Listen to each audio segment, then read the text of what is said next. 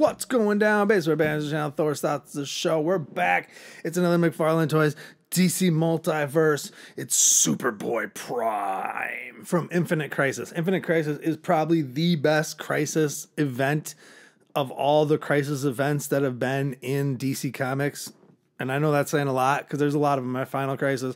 I mean, Blackest Night is kind of a Crisis level event. Um, Identity Crisis. Crisis on Infinite Earths. That's like the first one. Um, Flashpoint is one, as well. So there's a lot. So to say Infinity Crisis or Infinite Crisis is the best is a bold statement. I understand, but I stand by it because it is. So uh, we got Superboy Prime side eye in full effect. The problem a lot of people have with this character is not even the side eye. It's the fact that he just has two open hands and no punching hands. Because Superboy Prime like punches his way out of another dimension in Infinite Crisis. It's he's crazy. He's a cool figure in this in the story. Uh, and then he plays a part in like Final Crisis, and I know he plays a part in like Blackest Night and stuff too. So, but this is the Infinite Crisis armor version of Superboy Prime. So let's get into him.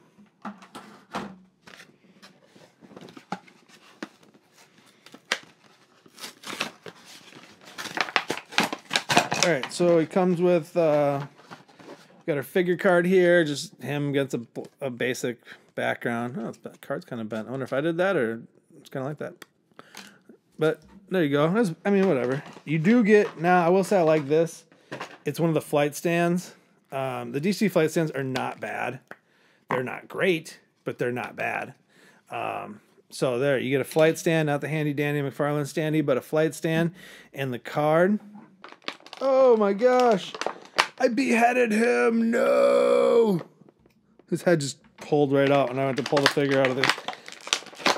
Ah, boom. There we go. Headless Superboy Prime. Just kidding. Let me snap that back on real quick. ah. All right. Well, I kind of got it in there. Nope. That thing will not hold in. I'll be honest with you. Yeah, I popped that head out really easy getting them out of the package and now I cannot get it back in to like stay. All right. Boom. I like I, I, like this guy. He looks good. I like the armor, the cords all over the place, the the yellow the yellow cables just running throughout this whole figure are amazing. Like they're really good. I love his armor, the back, the shoulders uh, double jointed elbows, double jointed knees. Yeah, he can full on. He's like almost kicking his own butt. But I like the cape. The cape is nice. The symbol, the, the S on the chest is the paint is good. It's lined up nicely. Um, like I said, if it wasn't for, if it wasn't for maybe this head issue, which isn't a real issue, I'll get it to pop back in. It's just a matter of getting it set because uh, the neck there's a little bit of separation, but that's because I don't have the head like fully in there. Um, yeah, he's good. I really wish they would have hand missing not having hands is a missed opportunity, or not having like fists is a missed opportunity. They could at least throw in some fists in here. Like General Zod just came out and he's coming up here on the channel here real soon.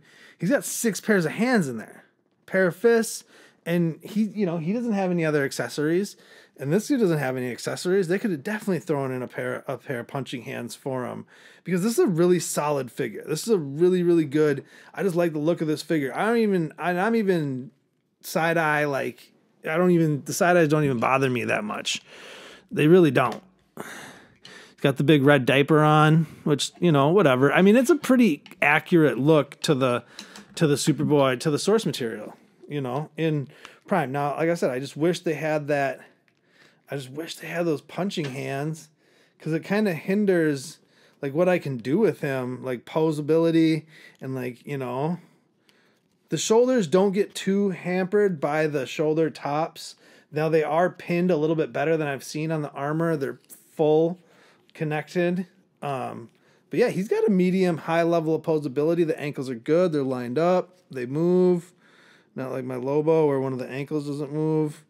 Hand, like I said, the hands, they're open hands. He's like, come give me a hug, brother.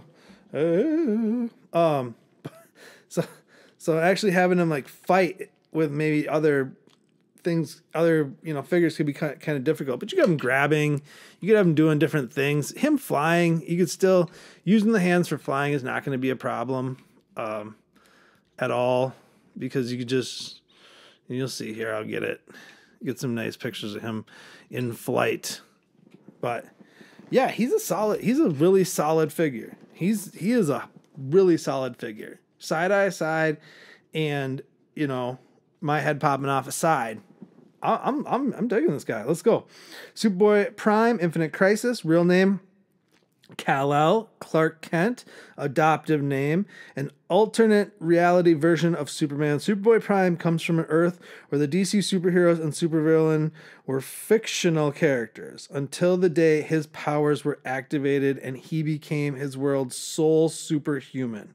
But after his planet was destroyed in the Crisis on Infinite Earths, the first one, uh, he became unhinged over time and eventually clashed with the superheroes of the main DC universe in the Infinite Crisis event. Ultimately, Superboy Prime was defeated and imprisoned in the Source Wall, uh, the barrier that surrounded the universe, only to break free when it was destroyed years later. However, when another crisis threatened all of reality, Superboy Prime proved himself a hero once again and helped save the DC multiverse. I can't remember if that was in Final Crisis or maybe that was in Blackest Night. I don't remember which crisis level event they're talking about, but this Superboy Prime, legit.